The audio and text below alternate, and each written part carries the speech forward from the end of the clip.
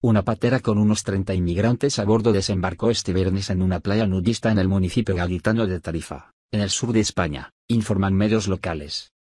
En la grabación, difundida en las redes sociales, se observa como los tripulantes, ciudadanos marroquíes que habían cruzado el estrecho de Gibraltar, bajan de la embarcación ante la mirada de los bañistas y corren en todas direcciones nada más pisar tierra.